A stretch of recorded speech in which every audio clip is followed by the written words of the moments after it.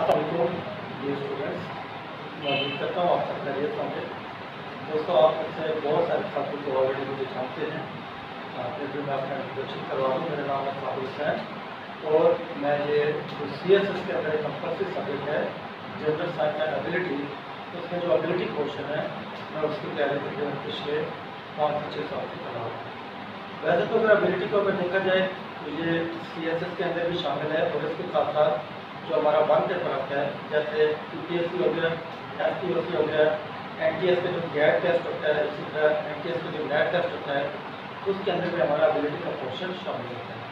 तो सबसे पहले हम लोग ये देखते हैं कि ये जो जनरल मैथ एंड एबिलिटी का जो सेक्शन है, इसके अंदर हम लोग किन किन चीज़ों को कवर करते हैं। दोस्तों, हमारा जो न्यू सेशन है, उसके अंदर इंशाल्लाह हम लोग इन तीन मेन एरियाज़ को हम लोग कवर करेंगे। तीन एरिया कौन कौन से हैं? सबसे पहले जनरल मैथ्स है। जनरल मैथ्स के अंदर आगे डिफरेंट हमारे टॉपिक्स आ जाते हैं, उनको भी हम लोग डिस्कस करते हैं। इसके साथ हमारा एनालिटिकल रीजनिंग आएगा एनालिटिकल के अंदर हम लोग मेथड्स को डिस्कस करते हैं। और इसके साथ हमारा जो तीसरा पोर्शन है, ये स्टैटिस्टिक्स का पोर्शन है। ये अगर हम लोग सी एस एस के पास पेपर देखेंगे तो उनके अंदर हमारा स्टैट का पोर्शन भी आता है। अब अगर हम लोग सी एस की एबिलिटी को अगर डिस्कस करें तो उसके लिए हमारे तीन मेन एरियाज़ को डिस्कस करना ज़रूरी है।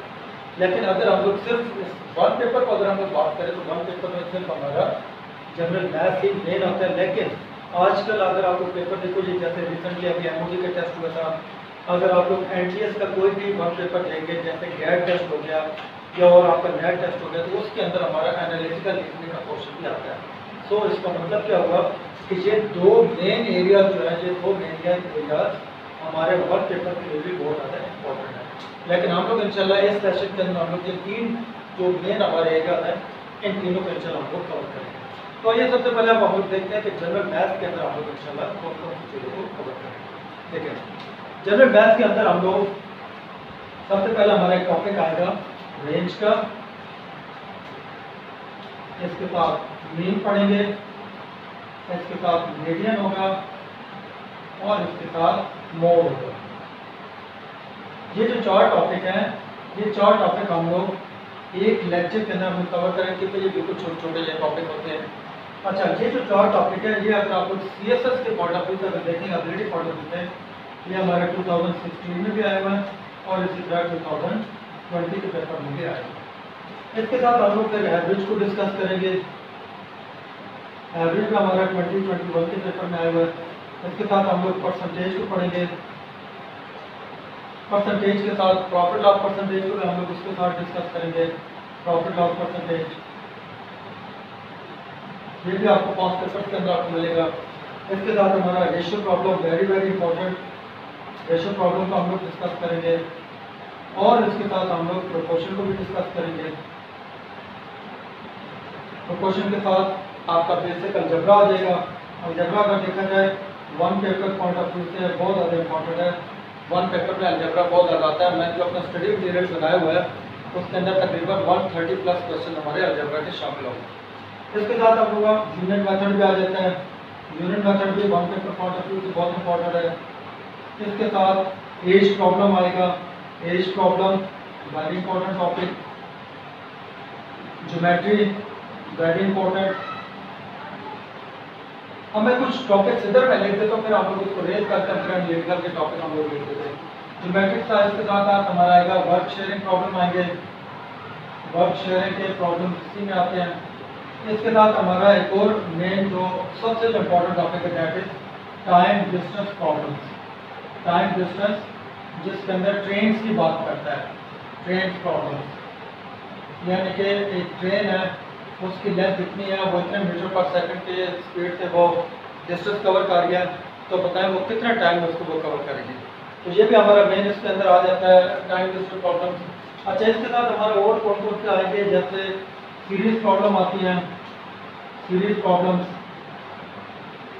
या इसको हम लोग कोडिंग भी कोडिंग पे हम लोग लिखते हैं कोडिंग भी कोडिंग ये भी आपको सी एस एस के पास मिलेगा। इसी को दोनों प्रॉब्लम्स को हम लोग आई क्यू सीरीज़ भी पढ़ते हैं। आप लोगों ने कभी कभार देखा होगा, कभी कभार कॉन्टेंट्स में आई क्यू भी लिखा होगा तो आई क्यू ये दो चीज़ें होती है, ठीक है? अच्छा इसके साथ आप लोग और प्रोबेबिलिटी को हम लोग डिस्कस करेंगे। वर्क शेयरिंग वाले हमारे क्वेश्चन पर वो ऊपर मैंने लिख दिया इसके साथ और आप लोगों के आते हैं, ये simple interest compound interest simple interest compound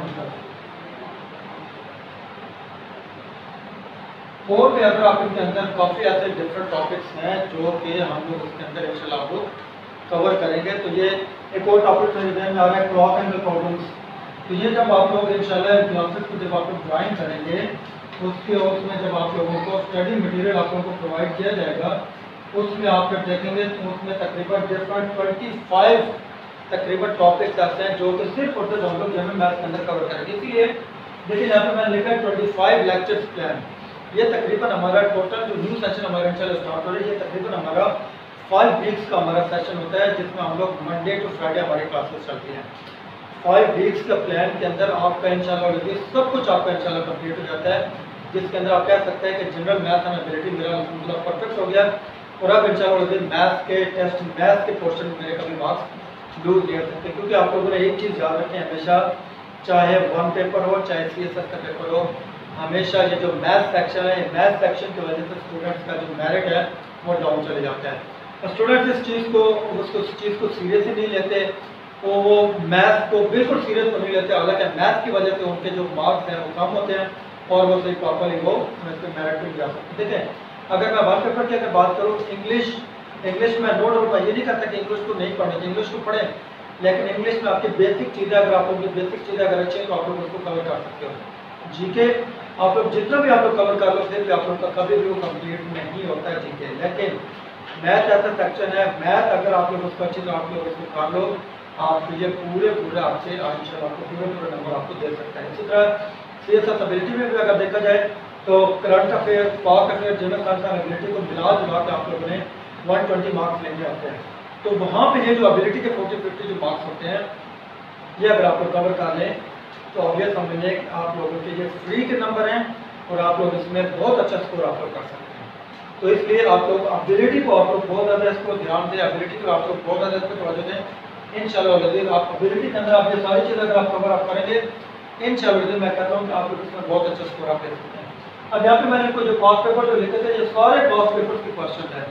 अगर हम लोग परसेंटेज देखें टू थाउज़ेंड सेवेंटीन नाइनटीन में रेशियो प्रॉब्लम देखें two thousand seventeen eighteen nineteen twenty पाँच सालों में पेपर आए वर्क शेयर भी two thousand seventeen twenty one में आया हुआ है। प्रोपोर्शन तरह अलजेब्रा भी है unit method problem geometry geometry अगर नंबर 21 का पेपर उठाओगे, उसमें आपको तीन क्वेश्चन आपको ज्योमेट्री के मिलेंगे। Work sharing method time distance इस दफ़ा भी आया हुआ था 21 के पेपर में दो क्वेश्चन आए हुए थे। अगर आप 2017 19 का पेपर उठाओगे वहाँ पे भी आप लोगों को टाइम डिस्टेंस के प्रॉब्लम मिलेंगे, इसके साथ मैं एक और लिखता हूँ। डायरेक्शन प्रॉब्लम डायरेक्शन प्रॉब्लम तो ये भी आप लोगों के इसी के साथ ही मेंशन होता है। Coding decoding series problem S W twenty one के पेपर में आता है। तो बात करने का मकसद ये है कि सब कुछ अगर आप लोग कवर करोगे, इंशाल्लाह मेरी तरफ़ से इंशाल्लाह आप लोगों को गारंटी होगी कि आप लोगों के मैथ्स के मार्क्स इंशाल्लाह बहुत अच्छे आएँगे। और हम लोग बिल्कुल ज़ीरो से इसको लेके चलते हैं। हम लोग बिल्कुल इसको बेसिक से लेके चलेंगे। इवन दैट अगर आप लोग मेरी क्लास में बैठे अगर आप लोग ऑनलाइन क्लास ले रहे हैं, अगर आप लोगों को प्लस माइनस की मिस्टेक होगी मल्टीप्लाई डिवाइड में प्रॉब्लम आएगी, आपको एल्सियम निकालने में आपको प्रॉब्लम आएगी, आपको क्रॉस मल्टीप्लीकेशन में आपको प्रॉब्लम आएगी इन इंशाल्लाह उसको भी इंशाल्लाह हम लोग डील करेंगे ताकि स्टूडेंट की जो छोटी से छोटी जो प्रॉब्लम होती है ना, अगर उनको डील ना किया जाए तो उसी की वजह से आगे फिर वो बड़ी प्रॉब्लम आती है, जिसकी वजह से आगे हमारा क्वेश्चन सॉल्व होता। है तो इन इंशाल्लाह हम लोग इस नए सेशन के अंदर हम लोग इन सब चीज़ों को इंशाल्लाह हम लोग डील करेंगे। तो आइए, अब हम लोग देखते हैं कि आगे हम लोग एनालिटिकल रीजनिंग के अंदर हम लोग क्या कुछ पढ़ेंगे, और उसके बाद हम लोग फिर आगे देखते हैं स्टैट के अंदर हम लोग क्या कुछ पढ़े तो आइए इसको अभी हम लोग देखते हैं।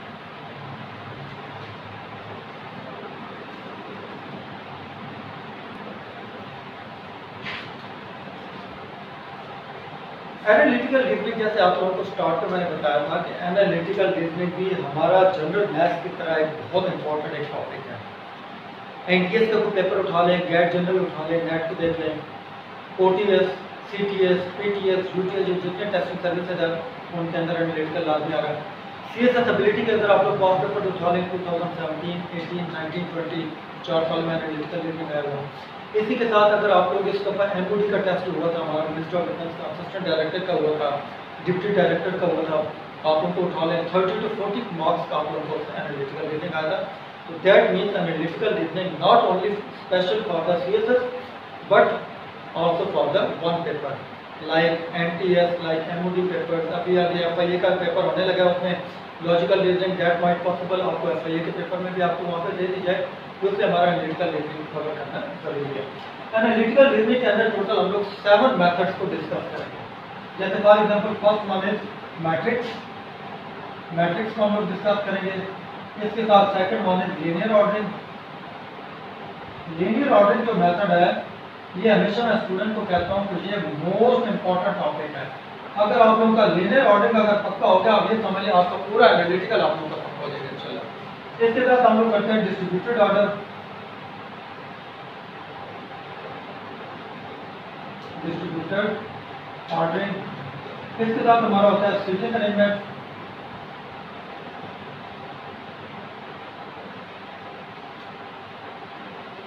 इसके साथ हमारा आएगा सिलेक्शन मेथड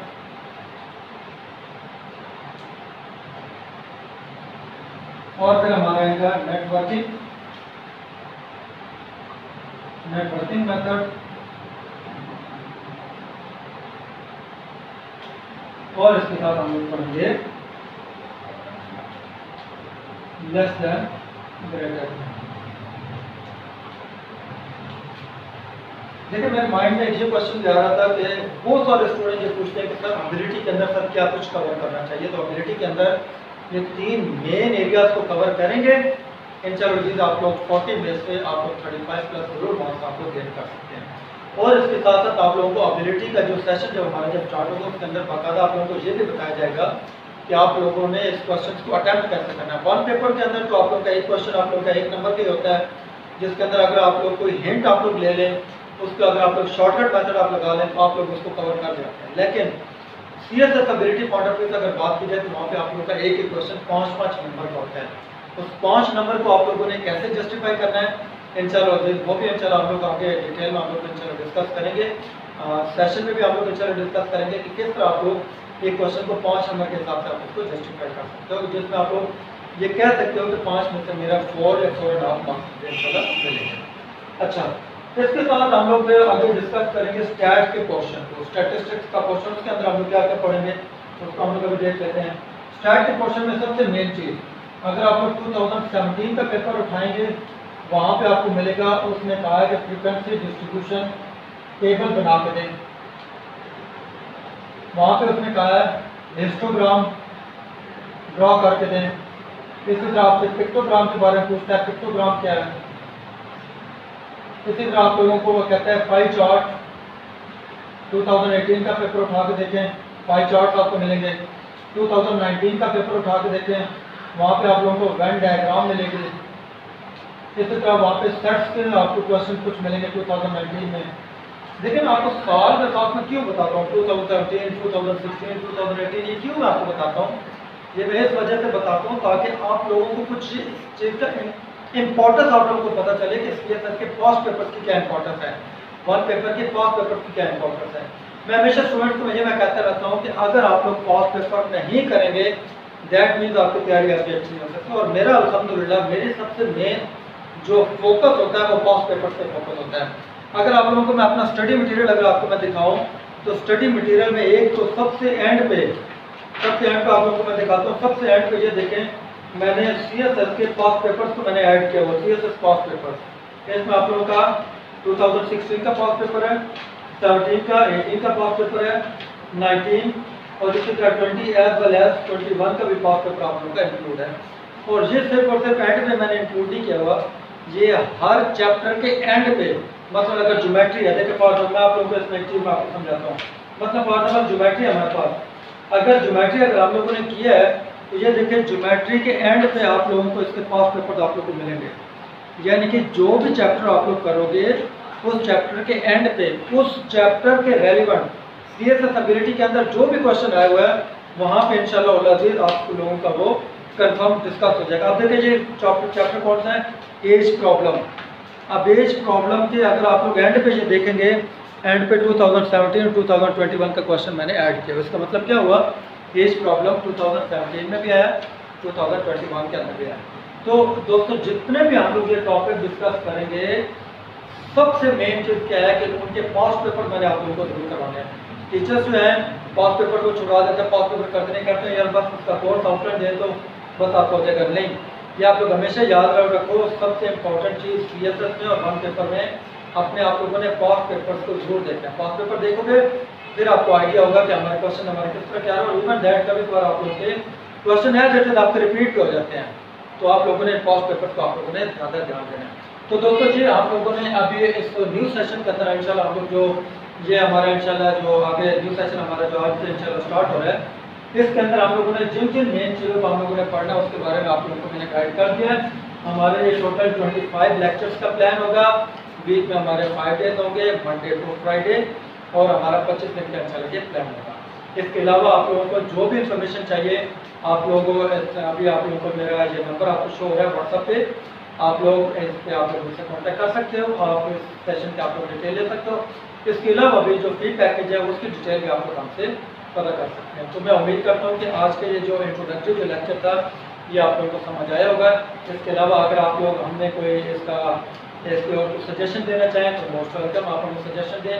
इसका फीडबैक देना चाहें, आप मोस्ट वेलकम आप हमें सजेशन दें। तो साबिर हुसैन को आप इजाज़त दें। नेक्स्ट इंशाल्लाह एक नए लेक्चर के साथ मैं आप लोगों से बहुत जल्दी मिलता हूँ। जिसके अंदर इंशाल्लाह हम लोग जनरल मैथ का भी हम लोग एक टॉपिक हम लोग डिस्कस करेंगे और हम लोग इसी तरह एनालिटिकल के और स्टैट के क्वेश्चन के एक एक टॉपिक हम लोग इसको डिस्कस करेंगे। तब तक के लिए इजाज़त। असल थैंक यू सो मच अल्लाह हाफिज़।